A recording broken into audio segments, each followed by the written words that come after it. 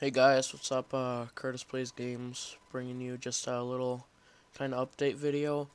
I got a few new games. This one I just got last night, and it is freaking. It's pretty good. It's pretty good. But um, other than that, uh, I just wanted to ask you guys, what do you want me to play? I got some GTA. I got Home.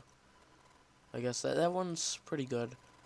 Uh, Left 4 Dead 1 and 2, and then Little Inferno. I, I don't even know why I have that one, but McPixel Portal 2.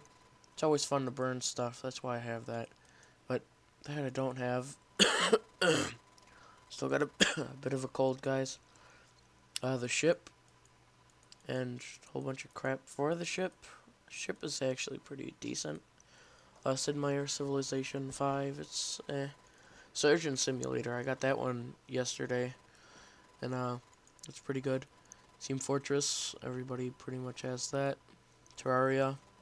Torchlight 2, I have not played any of that. I haven't even in, installed it on this computer, but I guess that's pretty good. Warframe, that's eh. And then, yeah, these are the games. Uh, Binding of Isaac, if you want that brung back, just tell me. And, yeah. Oh, there's the time. Alright, so, uh, yeah, these are all the games. Borderlands, I might do a let's play of that sometime, but I don't know. so yeah, Bully, that looks fun. Alright, I'm just rambling now. Uh, see you guys, uh, vote in the comments and do all that good stuff, and yeah, see ya.